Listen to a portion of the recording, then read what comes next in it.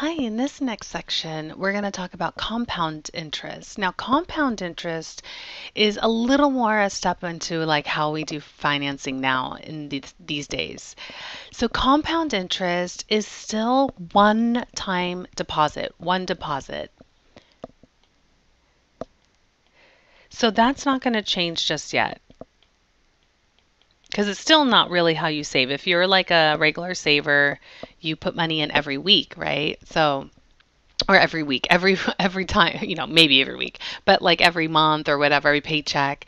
Um, so you're continuously making deposits while earning interest at the same time. So recall in the last section we had one deposit, one time interest.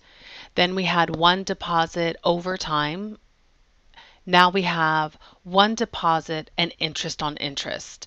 So now that idea of now letting an account sit and earning interest that first year, and then that's the new amount that's going to sit in the account and earn interest off that amount the next year.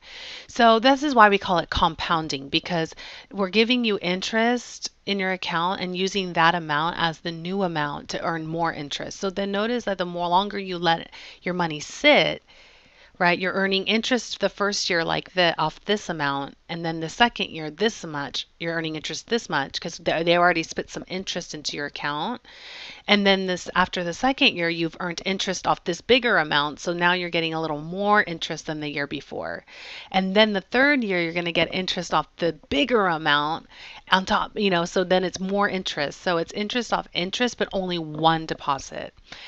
So um this is the formula. The only difference here is that you do have to divide by the rate by the compounding period.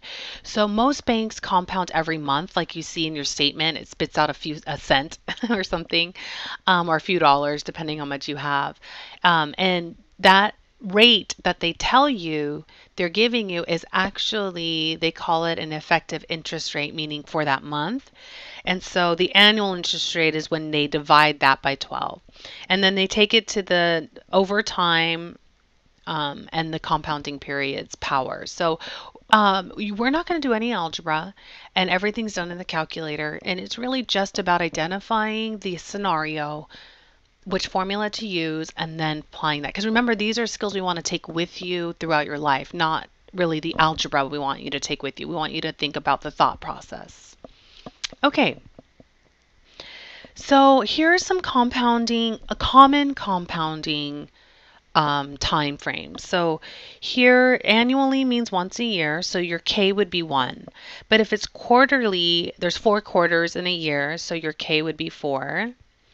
Monthly would be 12 months in a year, so that means your compounding period would be 12. And then daily, 365. If you did weekly, it'd be 52. Okay, so the, I put a little note in here. Just remember that when you deposit money into the account only once, and then you let the interest accrue. And we're going to learn in the in following sections about de- more many deposits and many interest. so let's go back to Money, Uncle Moneybags. We like him. Uncle Moneybag gives star, nephew starving actor $2,000 to deposit into a savings account, earning 3% interest compounding monthly. How much will nephew starving actor have in the account in 20 years? So right now the question, the red flag is well, is it a deposit or a loan or withdrawal, right? So we know it's a deposit because it says it there. And we know it's one deposit, which implies compounding interest.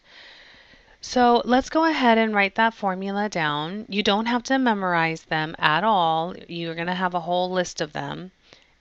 So we'll have P sub n equals the principal times 1 plus the rate over the compounding period times n to the nk. So notice the n here on the subscript of the p here is the power there. So it's just the time. So let's just see what we have here. So we have n is equal to 20 years. The principal, meaning the original deposit, was $2,000. The rate that in which we deposited was 3%. or 0.03. And then the interest is going to be, the compounding period is monthly.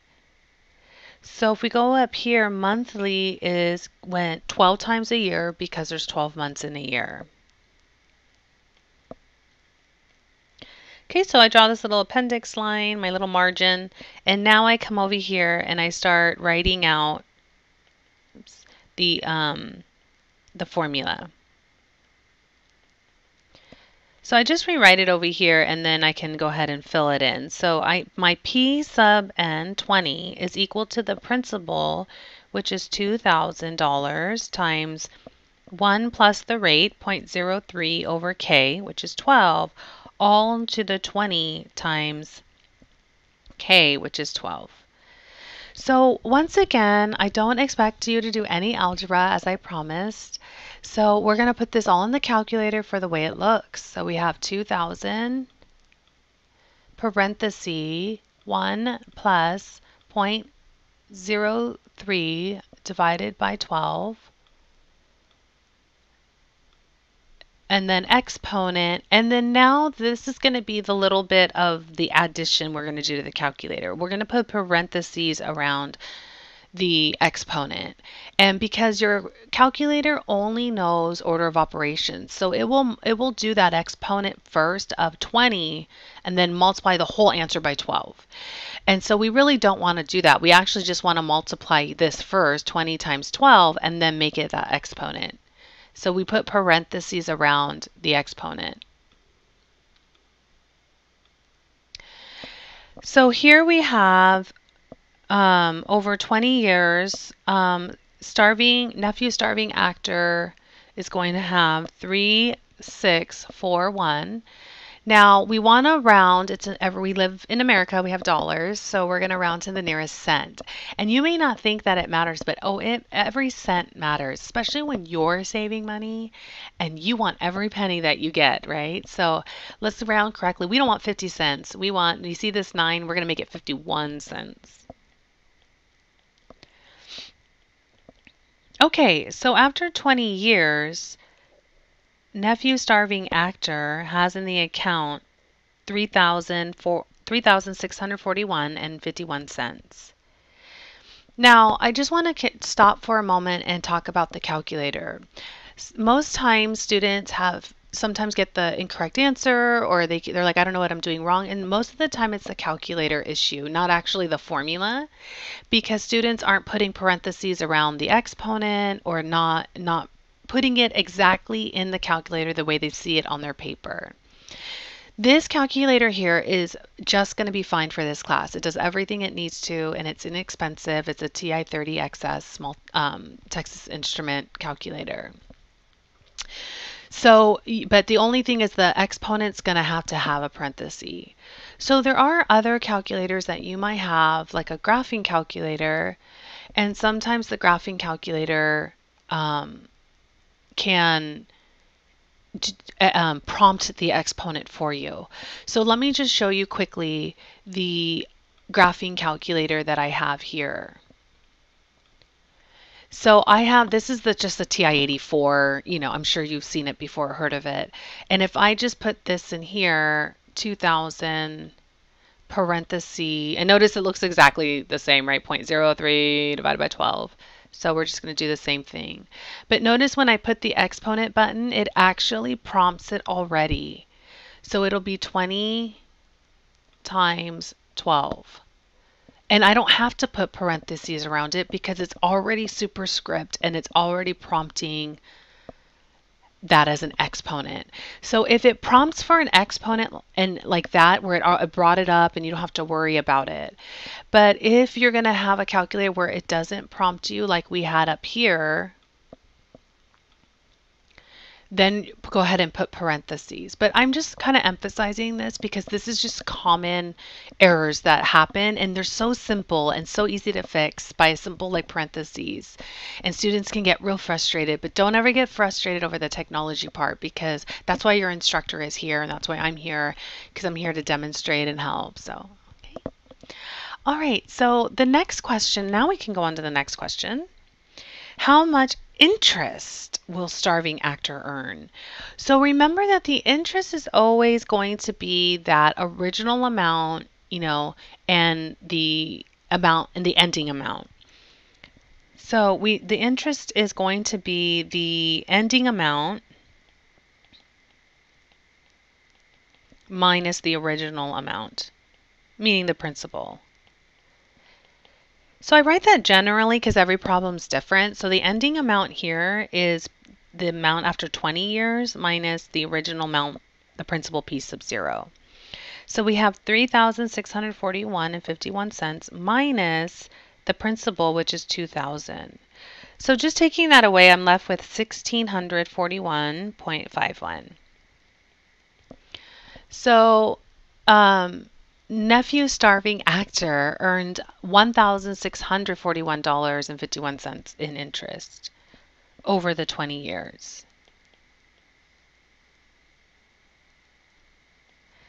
So it doesn't seem like a lot for 20 years, like only 1600 interest, right? I mean, that's a long time. Think about 20 years from now. so this is why it kind of it wasn't really sophisticated enough. Like um, you know, consumers wanted to be able to make a lot more deposits, a lot more, many more times, and earn interest off all those deposits and off interest. So, again, this this formula is for one-time deposit and earning interest off that interest.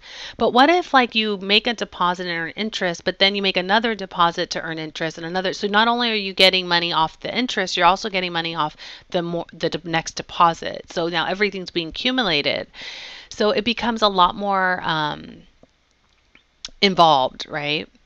Okay, so what if we didn't want to see what was happening in 20 years? Let's say I had a child like Professor Smart who wanted $20,000 for their son's college fund, right? And um, they the baby was just born it's newborn so it has no it hasn't lived a year. And so um, they know that their son is going to be a scholar and go to college at the age 16 and they need $20000 to pay for all that college. So suppose professor smart wants to save $20000 in 16 years and puts it in an account with 5% annual interest how much should professor smart deposit today so the red flag here is that notice that they're not that Professor Smart wants to put in one amount today, just one deposit today.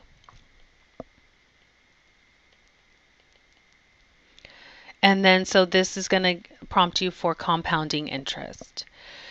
So um, now uh, this means that if we use the formula, right, P sub n equals um, P sub 0, 1 plus r over k to the nk. This means if we want to find out how much deposit today, we're actually looking for the p sub 0.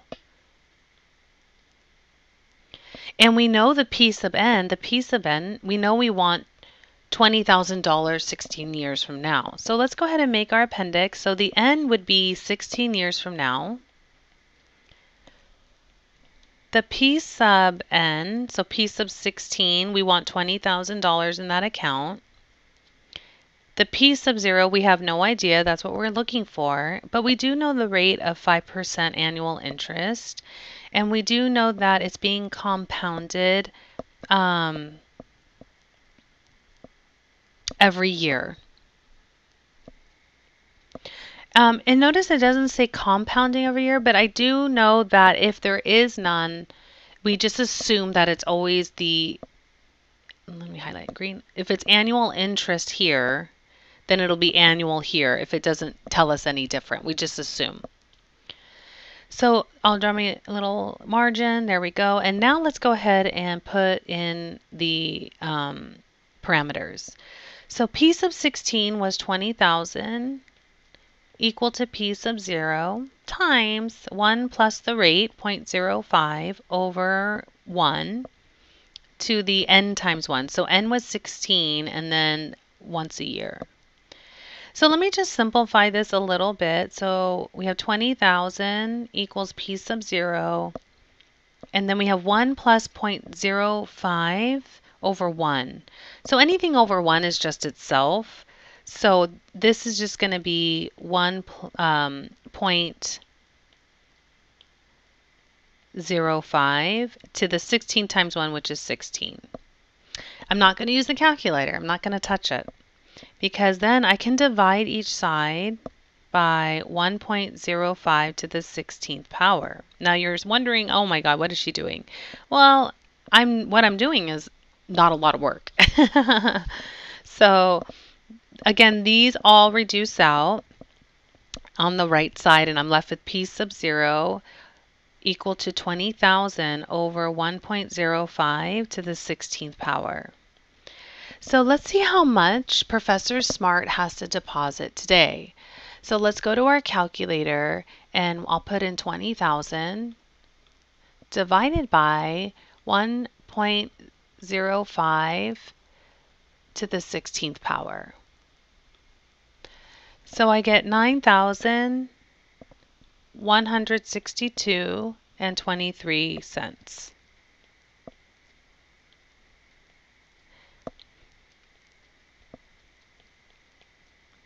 So Professor Smart,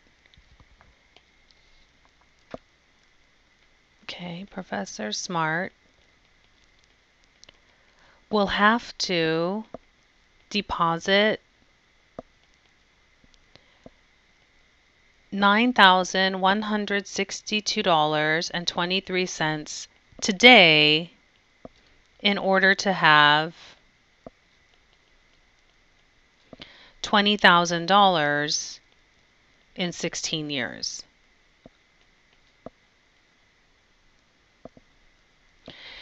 So we can always find any one of the parameters as long as we have all the other ones. So as long as only one is missing, then we can always find it no matter if it's N, K, R, or the principal or the ending amount. Um, so the real, the real, you know, the real current issue is, well, I'm not going to just take $9,000 out of my savings and put it in somewhere. I'm uh, what if I don't uh, what if I don't have $9,000? Obviously Professor Smart has to save the money, so maybe he doesn't have that kind of money in his account now, right? So something is more reasonable as putting money away every month, right? Like $150 every month to this account that will give me $20,000 in 16 years. And that's going to be a little more reasonable, right? We usually make monthly payments or monthly deposits. We don't usually say, oh, I have all this money, let me chunk it in somewhere. So, um, in the following section, we're going to discuss having many deposits with many, many interests. So.